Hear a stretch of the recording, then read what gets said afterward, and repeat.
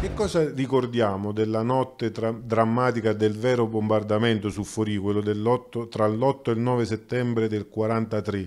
quando addirittura ci furono eh, morti a Foria?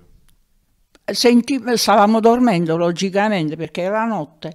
E se- Sant'Antuno, giusto? Sempre. E, eh, sentimmo, eh, sen- sentimmo dei, dei rumori, insomma, eh, se già era, era cominciato a cadere qualche cosa.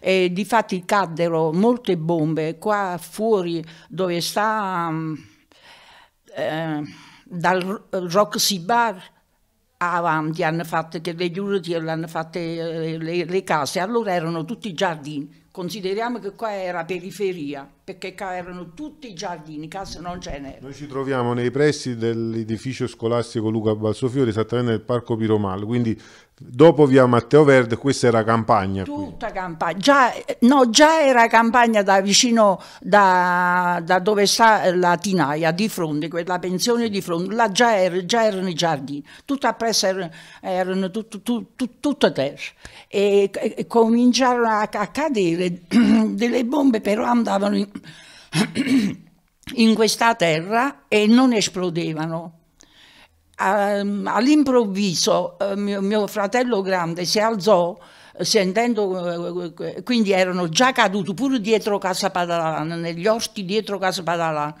e, e non erano esplosi.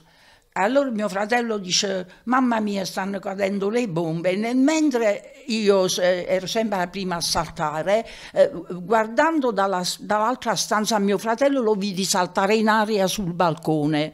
Eh, stava lui, ero- Francesco? eh, Vito, Vito. era uscito fuori al balcone per rendersi conto e e c'era stato, eh, in quel momento cadde uno, uno spezzone incendiario a- a- all'angolo della via vecchia, a casa dei Muscardini si chiamava. Difatti morirono la, la mamma e due bambini.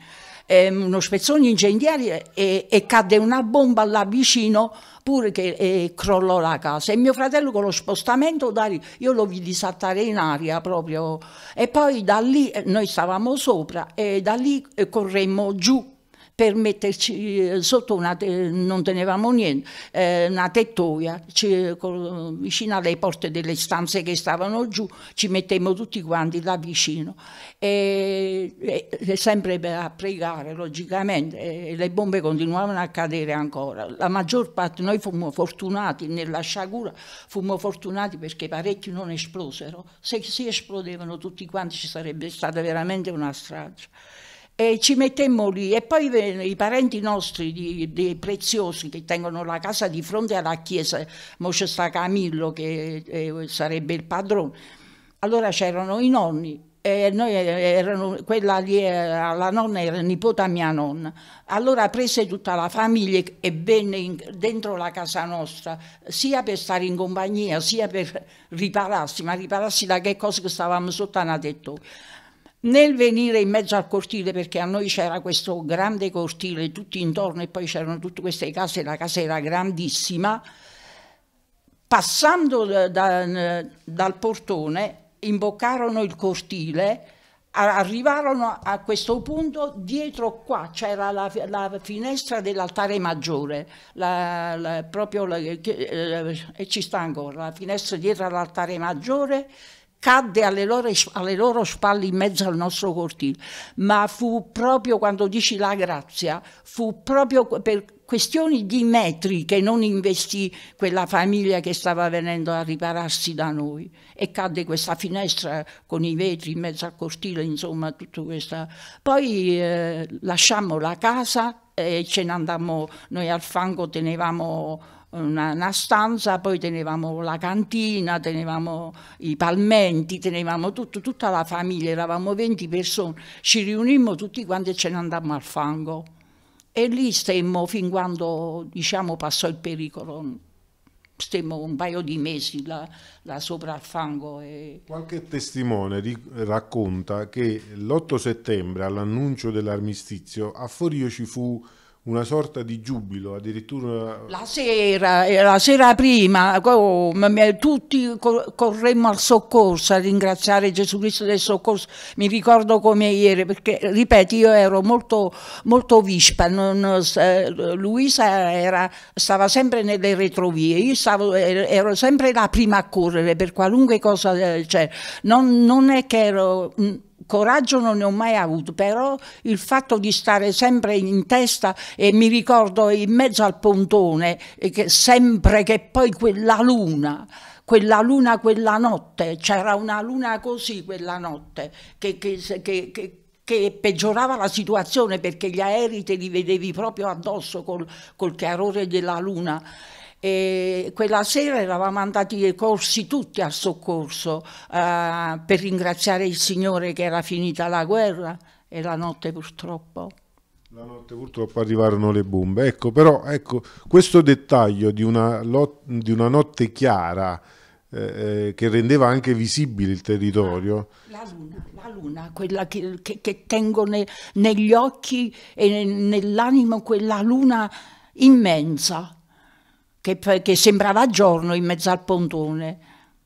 Ecco, alcuni, io mi permetto di fare questa considerazione diciamo, del tutto personale, perché purtroppo mancano molti dati storici più precisi sul, sull'evento bombardamento a Forio, addirittura nei libri di storia non viene neanche riportato, eppure io penso che Forio meriterebbe addirittura la medaglia d'oro al valore civile, viste i 13 morti che ci sono stati e purtroppo ecco, questa cosa non va mai avanti anche perché mancano altri riferimenti.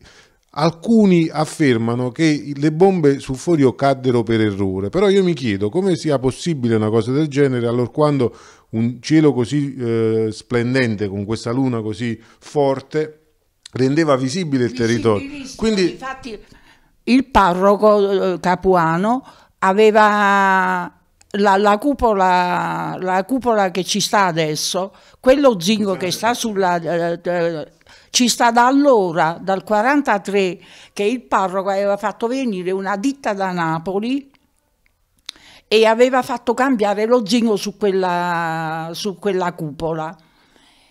E, e, lo zinco nuovo, sotto i, raggi del, eh, sotto il chiarore della luna, brillava, proprio luccicava e allora si disse che, che dato la forma pure de, de, della cupola, eh, dice, con questo luccichio che si vedeva dagli aerei, come lo vedevamo noi da terra, si vedeva maggiormente dall'aereo, no?